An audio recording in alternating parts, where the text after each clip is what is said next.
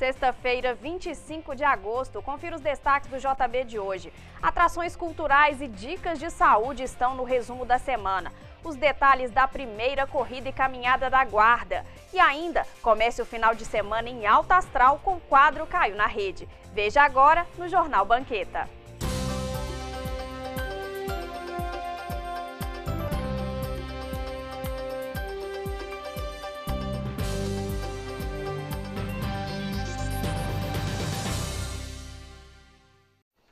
Novalimenses finalistas do Campeonato Mineiro de Rally, a presença das Santinhas do Pauoco neste sábado em Nova Lima e algumas dicas de saúde você confere no resumo da semana.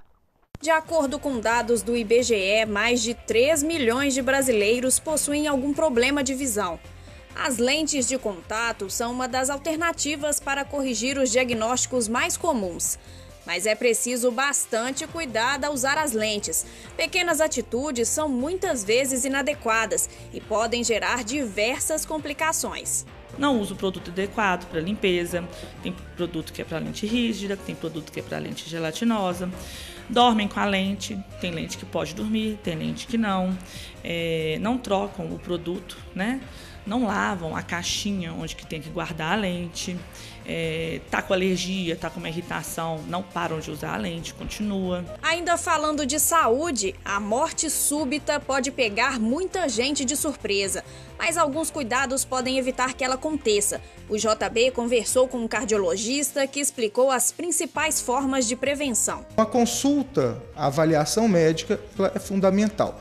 Claro que não se esquecendo das boas práticas, que são alimentação saudável, prática de atividade física, e todos os demais. Agora, infelizmente, a genética ainda é preponderante. Conhecidas pelo público novalimense, as freiras mais engraçadas de Minas Gerais retornam à cidade amanhã para comemorar os 20 anos da companhia de teatro Corpo de Prova e os 17 anos da peça Santinhas do Pauoco.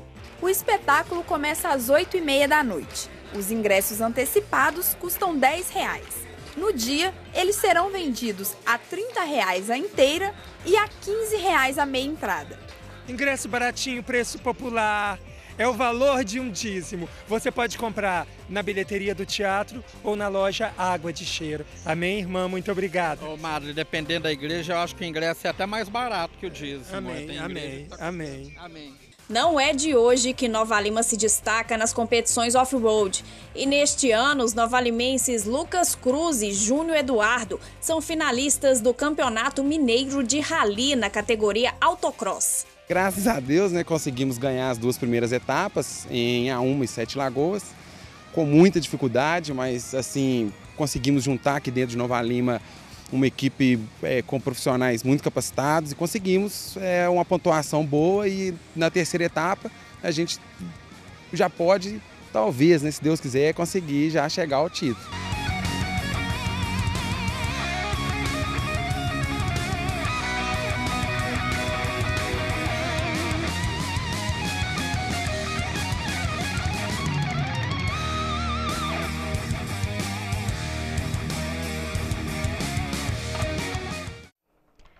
Inscrições para a primeira corrida e caminhada da Guarda já estão abertas. O evento promovido pela Associação dos Guardas Municipais e Estúdio RJ acontecerá em outubro.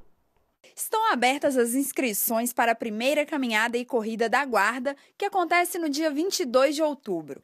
O evento, organizado pela Associação dos Guardas Municipais de Nova Lima, em parceria com o Estúdio RJ, promete agitar os amantes da boa forma. No dia 10 de outubro é comemorado o Dia Nacional da Guarda Municipal. E em comemoração a essa data, a Associação dos Guardas Municipais de Nova Lima resolveu estar proporcionando esse evento, não só para os guardas municipais, mas para o público geral, amantes da corrida de rua.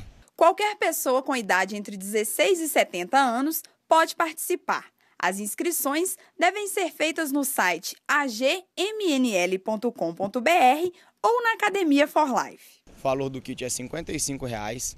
O pessoal vai acessar o site, imprimir o boleto.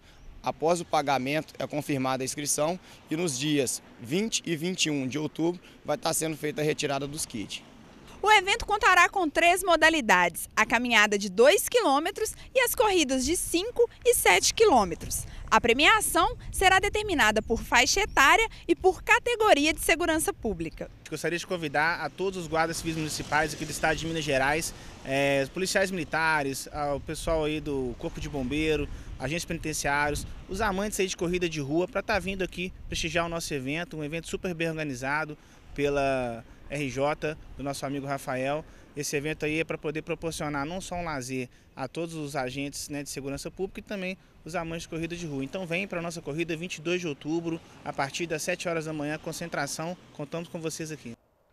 A Agência Nacional de Energia Elétrica confirmou nesta sexta-feira que as contas de luz vão ter bandeira tarifária amarela no mês de setembro. Em agosto, o consumidor pagou pela bandeira vermelha. A bandeira amarela representa um acréscimo de R$ 2,00 na tarifa a cada 100 kW consumidos. O que é sucesso na rede social dos novalimenses, a gente mostra para você depois dos comerciais.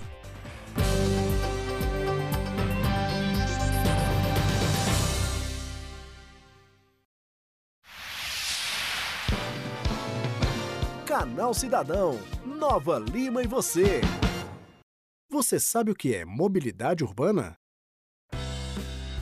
A mobilidade urbana é o principal instrumento para organizar o transporte e o trânsito nas cidades, com ações de melhorias na acessibilidade e na integração dos pedestres e diferentes modos de transporte, como carro, ônibus e bicicletas.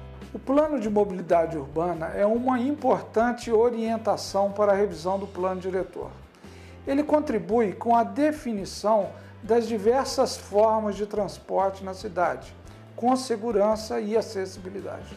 Nova Lima tem cerca de 91 mil habitantes. Para traçar o plano de mobilidade urbana, a Prefeitura tem feito pesquisas de campo, contagem de veículos, levantamentos dos transportes públicos e escolares. O estudo da mobilidade urbana abrange não só o transporte público, mas o desenvolvimento da cidade como um todo. É preciso planejar a cidade de forma sustentável e duradoura, visando melhorar a qualidade de vida das pessoas agora e no futuro. A participação da população é muito importante neste processo.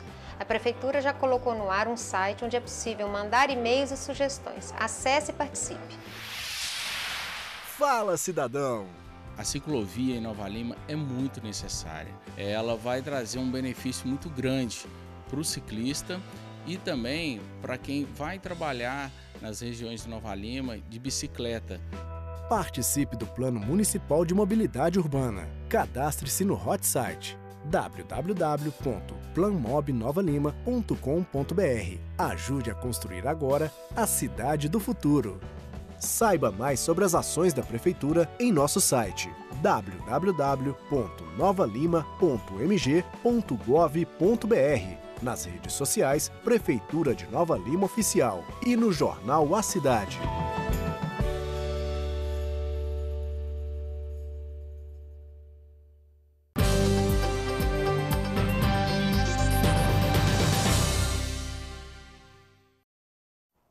Neste sábado, o bairro BNH recebe a ouvidoria itinerante. A comunidade poderá registrar de forma sigilosa suas reclamações, denúncias, sugestões e tirar dúvidas sobre os serviços de cada secretaria municipal.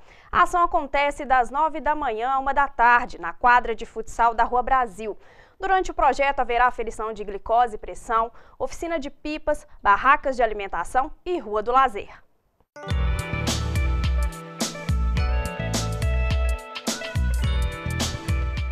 A frente fria que passou pela região metropolitana de Belo Horizonte na última segunda-feira causou ventos e aumento de nebulosidade. Final de semana com sol entre nuvens. Não há previsão de chuvas. A temperatura varia entre a mínima de 12 e a máxima de 23 graus.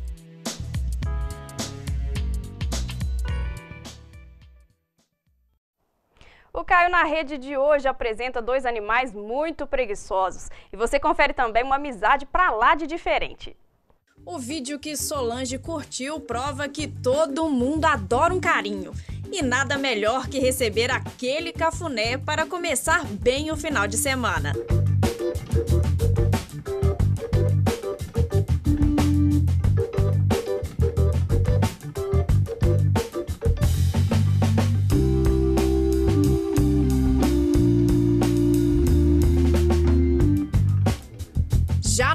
Vídeo que Matheus compartilhou, a gente percebe que a preguiça tomou conta do reino animal.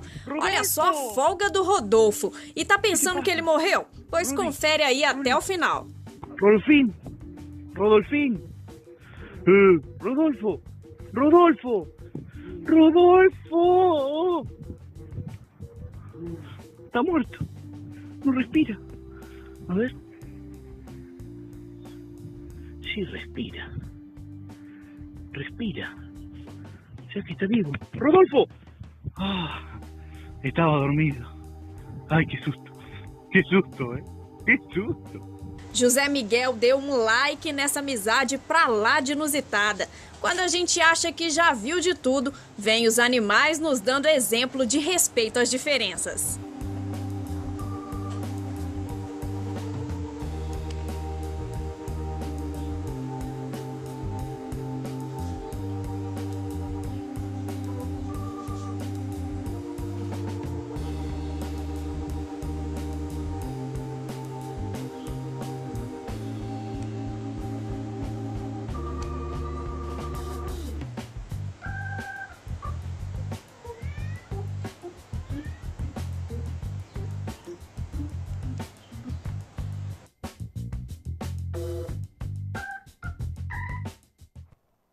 Essa edição termina aqui. Reveja as matérias em nosso canal no YouTube. As novidades da TV estão também em nossa página no Facebook. Obrigada pela companhia e um ótimo final de semana.